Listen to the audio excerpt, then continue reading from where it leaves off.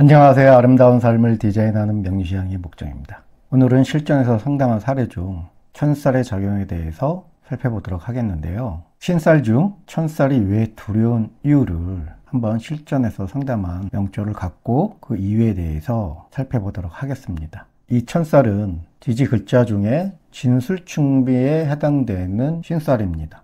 앞서 신살 중 역마살의 운에 대해서 살펴보았을 때 신살의 적용은 기본적으로 연지 삼합을 기준으로 해서 신살을 적용한다고 했습니다. 여기서도 연지 삼합을 기준으로 해서 천살을 적용한다는 것을 참고하시기 바랍니다.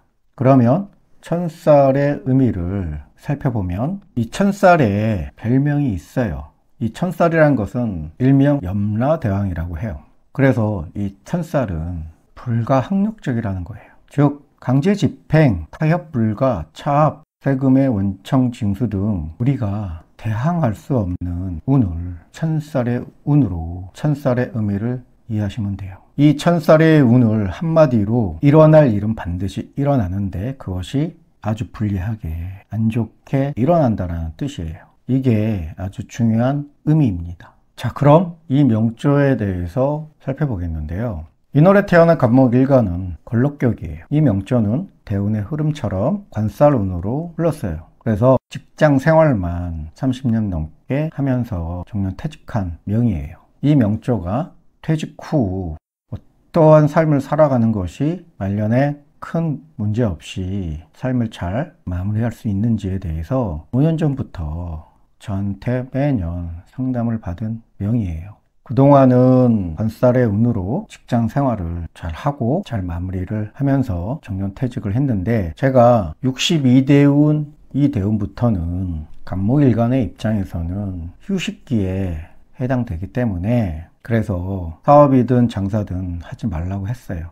그리고 직장 생활을 하더라도 책임감이 덜한 직장에 재취업하라고 조언을 해준 명이에요. 왜냐하면 이 개미 대운에는 간목일간의 입장에서는 인묘 입고하는 운이고 그리고 축술미 삼형살에 걸리는 대운이기 때문에 그래서 사업이나 장사 그리고 책임을 깨지는 그러한 자리에 직장은 다니지 말라고 했어요. 그래서 이날에 태어난 이 간목일간은 잘 참고하고 그동안 큰 문제 없이 지내왔습니다. 그런데 여기서 반전이 있었어요. 안 좋은 반전인데 2024년 1월에 갑진년 신년 운세는 어떤지에 대해서 상담 의뢰가 왔는데 다른 건 다 몰라도 이 갑진년에는 친구나 동료가 돈 되는 돈이 되는 투자나 사업이 있다고 제안이 오면 무조건 하지 말라고 했어요. 왜 무조건 하지 말라고 한 이유는 2024 갑진년 운은 간목일간의 입장에서는 비견,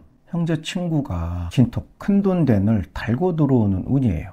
그런데 이 진토가 지지에서 형충파를 야기해서 문제가 발생되는 운이었기 때문에 그래서 갑진년 운에는 어떠한 친구나 형제가 투자나 사업이나 재물적인 제안이 들어오면 눈기 다 맞고 절대로 하지 말라고 했어요. 신신당부를 했습니다. 특히 양력 4월하고 5월에 더욱 조심하라고 했어요. 왜냐하면 이월에 태어난 간목 일간은 갑진년운을 맞이할 때 신사를 적용할 때 연지 삼합을 기본적으로 적용해서 신사를 적용한다고 했어요. 이 명조는 신축생이에요. 사회축 금의 운동을 하는 띠는 천살의 운을 맞이하는 운이에요. 그래서 제가 특히 무진월 양력 4월달을 조심하라고 했습니다. 반드시 아는 친구나 동료가 큰돈 되는 투자나 사업이 있으니 한번 해보지 않을래 하고 10중 8구 발현되는 운이니 무진월 4월달을 조심하라고 했어요. 이 명조가 맞이하는 갑진년 운의 신사 운은 천살의 운을 맞이하는 운이고 무진월이 또 천살 운을 맞이하는 달이에요. 그런데 진토 천살이 일간 간목이 입장에서는 편재, 재성, 재물이에요. 그러면 반드시 재성 재물에 문제가 생기는 운이니 절대 친구의 권유로 투자나 사업을 하지 말라고 몇 번이나 제가 강조를 했던 상담이에요. 그런데 갑자기 5월 초에 이분한테 전화가 왔어요. 왜 전화가 왔냐 하면 양력 4월 무진달에 나는 동료가 안전한 투자가 있으니 투자하면 좋다고 해서 4월 달에 친구 동료가 권유했던 투자에 투자를 해버렸어요. 결론은 투자를 권유한 이 동료가 사기를 쳤습니다. 그래서 그동안에 이 명조가 노후 자금으로 모아뒀던 재산을 거의 탕진을 했어요. 그리고 나서 5월 첫째 주에 저한테 전화가 왔던 거예요. 올초 1월에 반드시 아는 친구나 동료가 투자나 사업을 하자는 제의가 올 것이니 절대 하지 마시라고 1월에 그렇게 강조해서 상담을 했는데 왜 투자를 했냐 라고 제가 한번 물어봤어요. 근데 이분이 뭐가 쉬웠는지 제가 상담한 내용 제 생각은 전혀 안 나고 오로지 이 친구 동료의 말만 들어왔다고 하더라고요. 일이 터지니까 그제서야 투자하지 말라는 상담이 그때서야 생각이 났다고 하더라고요. 이 명조가 친구 동료한테 사기 투자를 당한 이후에 잠을 잘 수가 없을 정도로 불면증에 시달려서 매일 술을 먹지 않으면 잠을 못 잘 정도로 그런 상황입니다. 여기서 가장 주목해야 될 게 뭐냐 하면 내 사주에 진술 충미가 있는 명조는 비록 원국에 천살의 글자가 없다라 하더라도 천살의 운을 언젠가는 반드시